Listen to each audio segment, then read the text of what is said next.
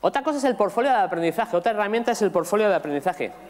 Y es interesante que tengamos un portfolio de aprendizaje porque si estamos en una área digital es necesario que nuestros alumnos empiecen a tener o portfolio, dice, pues eso lo teníamos, o e-portfolios, que un e-portfolio sería un portfolio en formato web, ¿no? Dígase un blog, una web, un site, donde vaya poniendo sus evidencias de aprendizaje. Nosotros en el centro, desde quinto de primaria, tienen su blog personal, que es su portfolio de aprendizaje. Pero si encontramos un portfolio, no buscamos que en quinto de primaria tenga una perfección absoluta. Lo que necesitamos es que cuando acabe su escolarización en bachillerato haya habido una evolución en el producto final de sus, en sus productos finales. Si en segundo de bachillerato empieza como en quinto de primaria, tenemos un problema. Pero que encontremos un portfolio de un trabajo en el que ha habido un error conceptual o ha habido una falta de ortografía en un quinto de primaria, no estamos buscando el fallo, estamos mejorando. ¿no?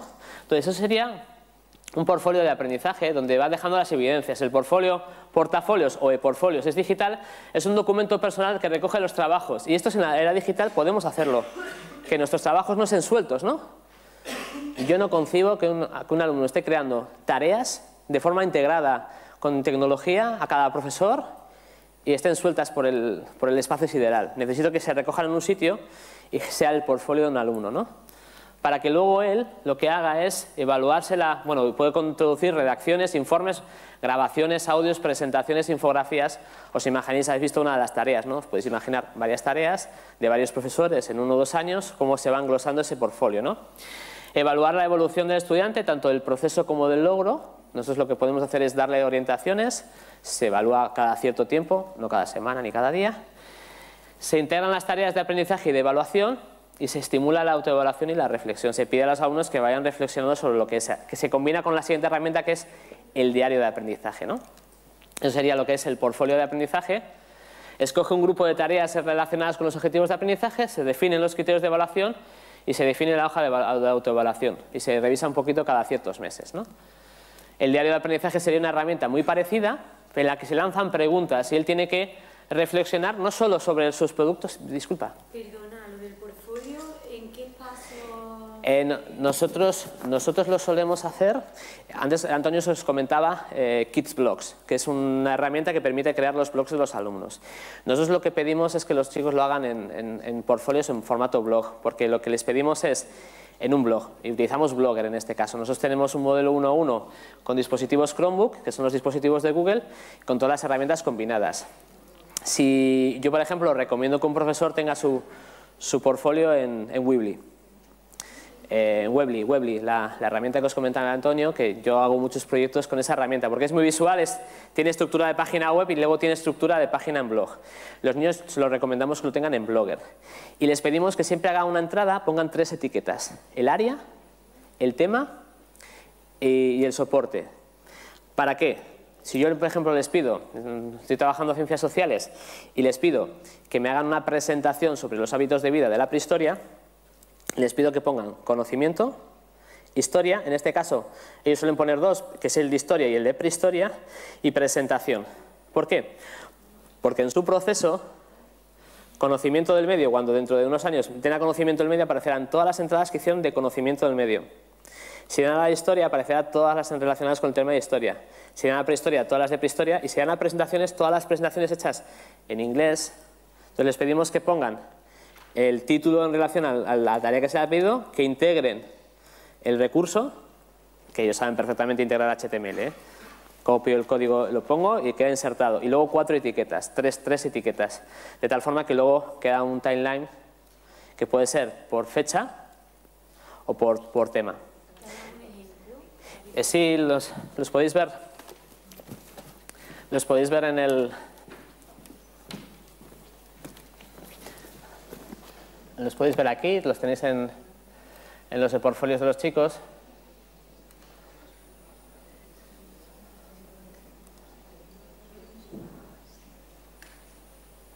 Y aquí van viendo todos, ves desde las, las entradas, las 19 del 2017, su audio, su mapa, pues todas las presentaciones, la línea del tiempo, ¿vale? Aquí podéis ver por los portfolios que comienzan en, quinto de primaria. Los tienen públicos, sí. Ah. ¿Perdona? No, nosotros tenemos, Google Apps Education, que actualmente se llama G Suite, la, la G Suite, que son las herramientas de Google. Entonces ellos tienen un correo corporativo, un correo, sabéis que por una institución educativa, cualquier centro educativo español, puede solicitar de forma gratuita a, Google que les conceda una cuenta de, G Suite, de, Google Site, ¿no? Entonces te permite que desde una consola generar las cuentas a los niños, a los alumnos, ya sean desde, nosotros lo hacemos desde quinto de primaria hasta bachillerato. Y tú, por ejemplo, profesora de secundaria, les das una cuenta y... Nosotros optamos, optamos eso. Yo tengo una teoría de que yo no puedo enseñarte a pescar con mi caña y luego cuando te marches te la quito. Entonces, hay una forma en la que nosotros podemos hacer que los niños publiquen en un blog colectivo de aula, pero luego ese trabajo cuando se marchan de otro, a otro centro eh, quedan en el blog. Entonces yo necesito que, aunque, lo mandes, aunque te pida publicar en mi blog de asignatura, tu presentación me ha interesado, quiero que la compartan, es un concepto en el que trabajamos el PLEN, entorno personal de aprendizaje. Yo aprendo de ti, tú has presentado tu presentación porque no solo lo publicas en tu blog, sino que sales y lo presentas. Yo necesito aprender de lo que tú has hecho bien para yo mejorar. Necesito consultar tu blog para hacerlo, ver tus fallos o tus aciertos. Los fallos no los repetiré y los aciertos los intento clonar o repetir. Yo necesitaba, o necesito, planteo que yo no te puedo enseñar a pescar y cuando vayas a salir de sexto, que yo soy profesor de quinto y sexto, digas, bueno, que te vaya bien en secundaria, devuélveme el blog. Entonces necesitamos que los blogs sean de ellos. Por lo tanto, la cuenta es corporativa y cuando uno, un alumno marcha del centro podéis optar a dos cosas.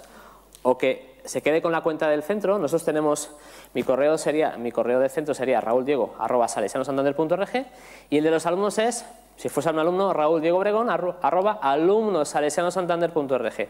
Podemos optar dos cosas, o que te quedes con la cuenta o que dé un botón y te pase toda la información que estaba en tu Google Drive, Gmail, eh, toda tu información de blogger, de, tu cuenta de Google, se pase al correo que tú me digas. Desde, lo hacemos desde el centro. Entonces, te vas a marchar del centro, optamos. Optamos con que me des un correo y entonces doy a un botón y toda la información que hay en un perfil se clona a tu perfil personal y la información de quién es, tuya dentro de tu, cuenta. Entonces, nosotros lo hacemos con, en nuestro portfolio lo hacemos con, con Blogger. Lo podemos hacer con miles de herramientas. Lo podemos hacer con Wix, lo podemos hacer con Google con Wikispace, con mil de herramientas. Nosotros optamos con formato blog porque es un timeline en orden cronológico. Cuando ellos dan, llegan a clase, dan a la pizarra, hay un botón que abre la página de clase, ha dado otro botón que abre eh, los e-portfolios y cuando dan a su cara, ¿qué están abriendo? Su blog y su última entrada es la que tienen que exponer. Entonces el proceso son tres toques y están exponiendo. Perdona, ¿desde qué nivel? Quinto de primaria. Quinto de primaria. Hacéis la cuarta comparativa y a partir de entonces Yo también los tengo y en, quinto y sexto y el correo de Gmail es el de los padres. Sí, nosotros... Nosotros tenemos cuenta corporativa desde hace dos años, hasta, pero nuestro proceso de integración de las TICs es mucho antes, es anterior. Nosotros teníamos una autorización eh, nosotros eh, trabajamos con metodología de integración de las TICs en escuela, en escuela del siglo XXI y les explicamos la metodología a los padres. Entonces los padres eran los que sacaban las cuentas para su hijo, era su cuenta, se dan de alta con los padres y nosotros que había un pequeño documento que trabajábamos de forma conjunta en casa como en clase para que hubiese un buen uso del, del, recurso. Actualmente la cuenta es del colegio. Si alguien hace un uso inapropiado, yo doy a un botón y le bloqueo. Eh, para eso lo que tienes que hacer, para eso lo que tienes que hacer dentro de la herramienta de Blogger, utilizando herramientas como Feedly, es suscribirte a sus blogs. Cuando ellos hacen una publicación, a ti te leen. Yo tengo un lector de feeds que es el que utilizo por las noches. Yo por las mañanas leo el periódico y por las noches leo mis feeds. ¿Me puedes repetir si no te importa la aplicación que te permite? Feedly, F-E-E-D-L-Y. Feedly. Es un lector de feeds, antiguamente se utilizaba Google Reader, Google Reader para leer los blogs, yo utilizo ahora Feedly, pero luego Blogger tiene una función cuando entráis en el panel que dice suscribirte a un blog, y entonces te suscribes dentro del propio escritorio de Blogger. Dime. No, no, nosotros eh, eso se hace de forma integrada con todos los profesores.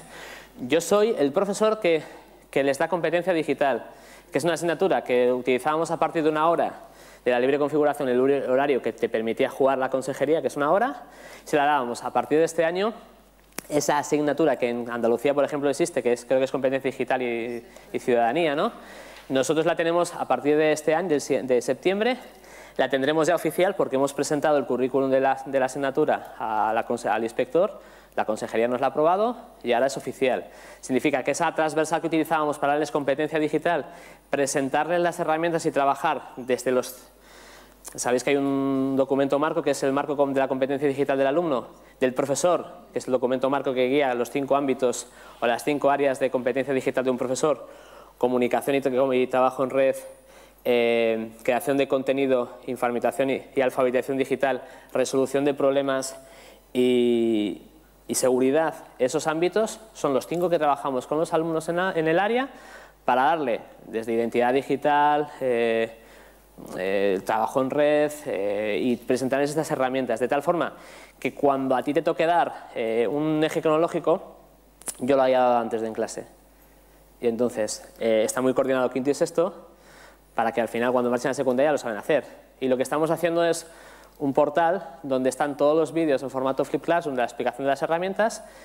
En mi web personal podéis encontrar muchas herramientas con los videotutoriales en el que si un alumno entra en el colegio después de haber dado esa, ese área puede autoaprender la herramienta con esos vídeos. Porque veíamos un área de mejora que podíamos observar era que cuando un alumno se integraba en el centro más tarde, sus compañeros tenían competencia digital altísima y él no. Entonces hemos integrado esos vídeos, o estamos creando esos vídeos para que tengan esa competencia. ¿vale? Bueno, sigo el diario de aprendizajes, es, es reflexionar sobre lo que hacen a partir de preguntas, aprendizajes, intereses, descubrimientos, lecturas y dudas, se hace un aprendizaje de lo que se va, de lo que se va aprendiendo y se genera una serie de ideas. ¿no? En esa tarea aprendido me parece interesante esta tarea porque los diarios de aprendizaje es interesante al acabar tareas, al acabar proyectos, al acabar temas, para que hagan una autoevaluación guiada o redactada de lo que están aprendiendo ¿no? y cuáles son sus, sus, sus debilidades para mejorarlas.